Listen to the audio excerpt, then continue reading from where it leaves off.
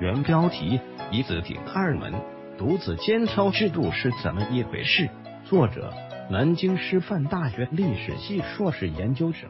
气管鲁学社青年会会员雷小凡。宗法制自从先秦时期发展成型后，并没有随着秦的一统天下而与封邦建国一起走进历史的尘埃，而是在广大中国民间得到传承与变革，其生命力与适应力愈发强大，并在中国明清两代最终定型并走向收束期。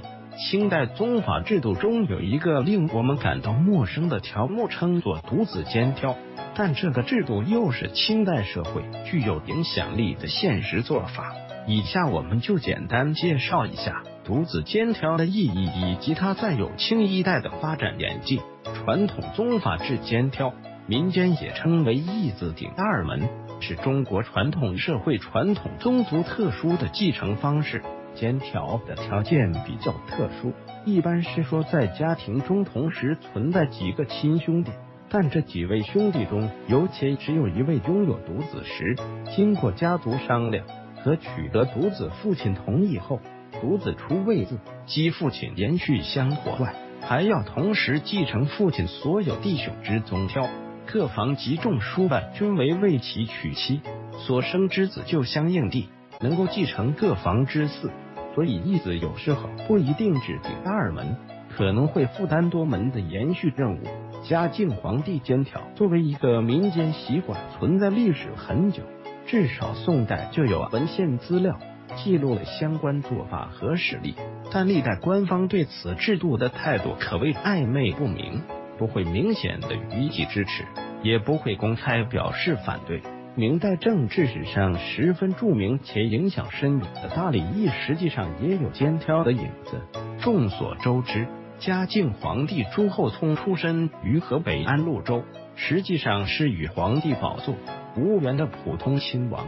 但明武宗壮年去世，没有子嗣，朝廷令其兄弟朱厚熜前来继承皇帝位。围绕这皇统和血缘关系上。嘉靖皇帝与朝臣召开了大规模的论证，论证的具体内容我们无需容述。但嘉靖一方面要承认父亲新献王的地位，同时还要作为武宗的兄弟去乳奉宗条。有学者认为，嘉靖皇帝开创了以一人而为两家之后的先例。历史进入清代，中国的宗族又进入了一个新的发展时期，宗族制度也愈加繁复细密。民间的监挑事迹很多，但真正得到朝廷重视和认可，则是在乾隆年间。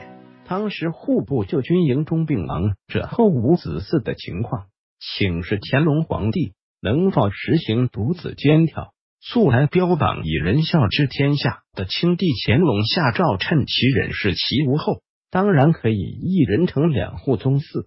后来清廷修订律法时。就开始将这样的案例吸纳入大清律例，认为家族中缺乏继承人这样的特殊情况下之下，准其承继两房宗挑。自此，最高统治者及朝廷都将独子兼挑纳入法律许可的范畴。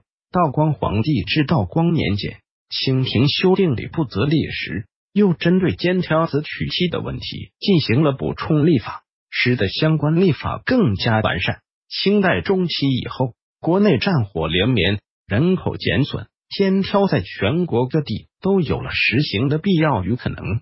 由于历史惯性，监挑婚姻延续时间很长，直到上个世纪七十年代，港英殖民政府还曾专门立法禁止监挑婚姻再出现。参考资料：徐进《论清代民事习惯中的肩挑规则》，孔朝立。清代独子肩挑制度数论，郑小优。清代独子肩挑研究，冯尔畅。清代宗族制的特点，返回搜狐查看更多责任编辑。